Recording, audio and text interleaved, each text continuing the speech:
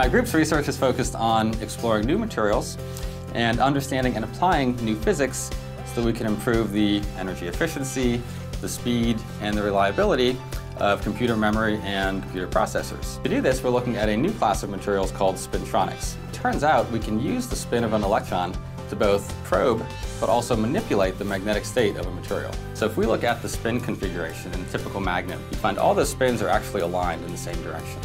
But in some other unique materials, instead of being aligned in the same direction, you actually have a, a, coherent rotation of spins. And you get these unique symmetric patterns that show up. And one of them is called a skyrmion.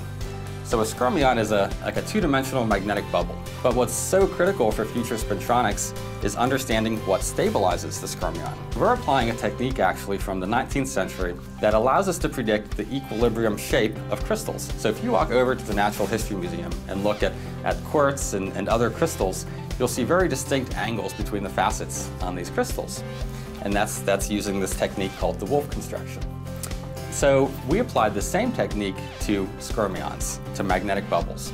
And by looking at how they change shape, we can actually calculate and predict this new interaction that's so essential for future spintronic materials. And the consensus is that conventional semiconductor-based transistors that have revolutionized technology for the past 40 years, they just can only go so far.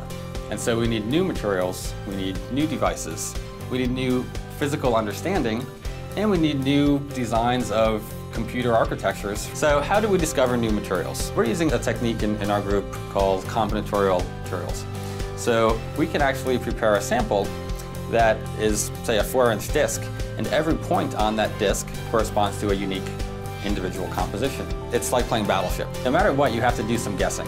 And if you have good physical insight, you're shooting into a smaller space. But no matter what, you have to guess. And when you find that hit, then you can kind of move around in that space and identify where the rest of the battleship is. Where's the rest of the story to make better spintronic devices. The nice thing about material science is that we often predict things that happen over the course of a very long time.